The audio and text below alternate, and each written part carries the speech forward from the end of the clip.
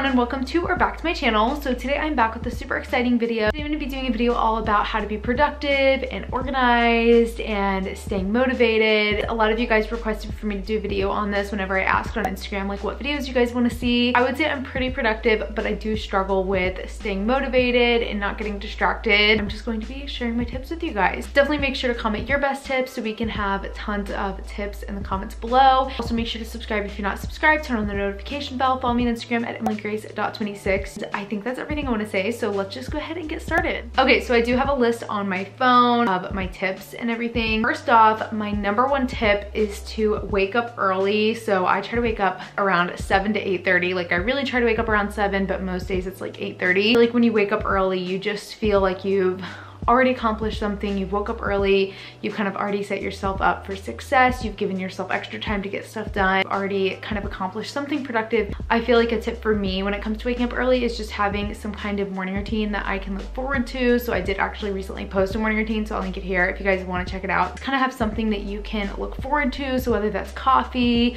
or a smoothie or planning out your day. For me, I love like planning out my day and drinking my smoothies. And also just knowing for me, the earlier that I start, the earlier I'll be done. And then that'll give me some more free time. I really value my free time to just like watch TV shows or just like relax. If I sleep in, I'm just gonna be working late and getting my stuff done late and then I'm not gonna have any free time. Those are just kind of some things that help me with waking up early. The next thing is to kind of like actually get ready. So if you stay in sweats or pajamas all day, you're just gonna feel groggy and lazy and unproductive. So I feel like actually getting ready even if I'm not going anywhere I do like to fix my hair do my makeup put on some kind of outfit. It makes me feel more productive. So I feel like actually getting ready makes you feel like you're doing something and going somewhere you know you're not feeling like you're just being lazy and sweats all day this is a little bit part of my morning routine but i also like to make my bed and clean up my room trying to create a little bit of a clean space and making your bed will make you feel like you already did something productive and you have a clean space to work in especially if you are working from home or doing classes from home it is hard to be focused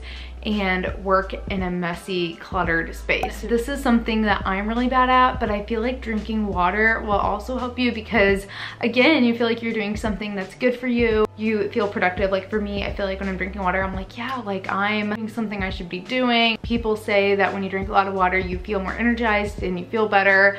I wouldn't know because I'm bad about drinking water. I feel like drinking water is just good and especially like ice cold water. I like have this big water bottle from Amazon that I like to use and then it has like time markers. As I drink more water and I can see myself hitting the time markers, I feel productive. So get rid of distractions. So this is super hard for me. I know if I go on TikTok, I will literally be on there for hours. Like time will just fly. Get rid of distractions, put your phone away. Not necessarily away, but just like put your phone somewhere where you're not tempted to use it. So you're sitting at your desk, maybe put it on top of a nearby dresser or put it somewhere where it's kind of like out of sight, out of mind. You're not tempted to reach for it and use it where you have to actually physically get up to get it so you're like, yeah, it's too much work. I'm not gonna do that. Where it's not in arm's reach and you're not gonna like use it, I guess. I also like to put it on do not disturb. If I can hear it buzzing or hear it hear sounds. I usually don't have people texting me, but if I can hear any kind of like notification, I'm gonna be wanting to like check it. And then once I check the notification,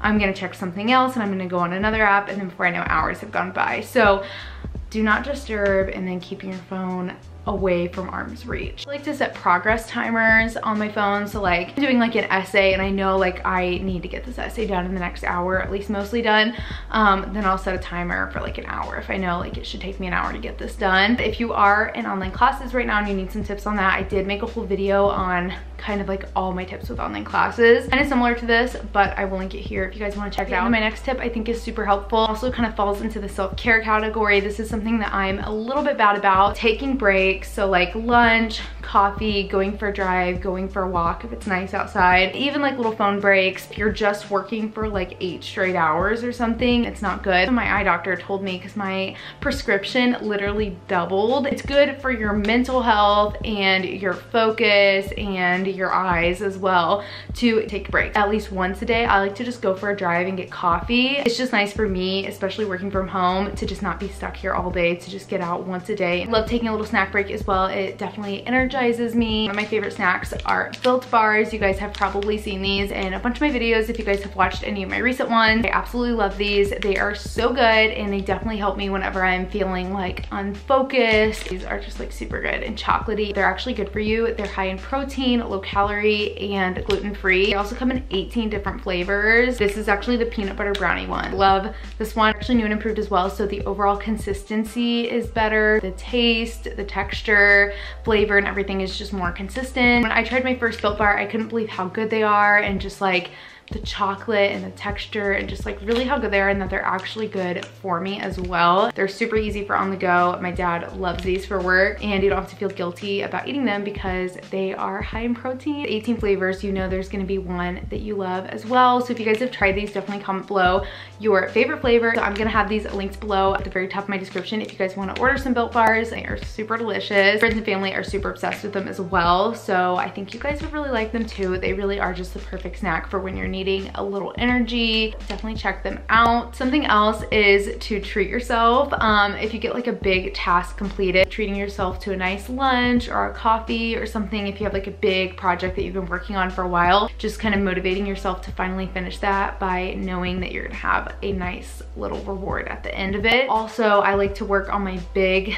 assignments or big projects first. So when I'm planning out my day, I like to do the bigger tasks first and like the smaller things at the end of the day um, and just kind of knock out those big things first. And then something else is to just kind of like move around. So if you are working for eight hours straight or something like that, to just kind of move around. So sometimes I'll work at my desk in my room and then I'll kind of work at my kitchen counter. And then if it's nice outside, I'll kind of work on my patio for just like some change of scenery.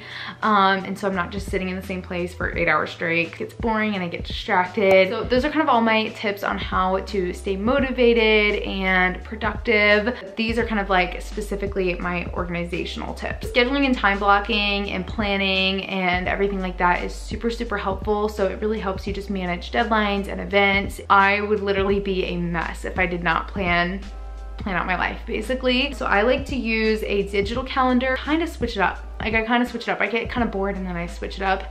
Um, so currently I like to use my digital calendar. It's literally just the calendar app that's on my laptop. It's the same one that's on iPhone. I actually sync up the one on my laptop with the one on my iPhone. I really want to do a whole video on this, but also use a Google calendar. It's like basically like Google Docs, but a calendar. I used to use a physical planner and I do really love physical planners, but just been liking my digital calendar. It's the same thing, just physical or digital. Planning and time blocking is super helpful when it comes to staying organized, especially if you are in school. It'll really just help you manage your deadlines. I also like to make a to-do list the night before. So I kind of look at my overall digital calendar and my overall like what I have planned. And then I kind of look at that and make like an actual to-do list that I can just see super simply in a list format what I have planned and just like check it off. I love the satisfaction of checking off a to-do list. I used to like to do this on like a physical piece of paper with like cute little colorful pens and markers and stationery, but lately I've just been liking to do this on my phone. Again, I just kind of get bored and I switch it up. Recently I've just been typing it on the notes app on my phone and I just like to put cute little emojis. I just type it up and I cross it off and that's just that's just what I've been doing lately. And then also with staying organized, I feel like creating a nice space to work, but I kind of of already touched on that with staying motivated, so I won't go too into detail, but having a nice organized place to work is going to be helpful with staying organized. And then having a separate place to work. So I kind of touched on this in my online class tips, but if you are working on your bed, like a laptop and you're like working in bed, I feel like that's really hard to stay organized and productive because you're just gonna like wanna sleep or nap. I feel like having an actual desk space or working at a kitchen counter or somewhere where you're actually physically sitting, it's just gonna help you stay organized. I think that is pretty much everything. Definitely make sure to comment below your best organization, motivation, and productivity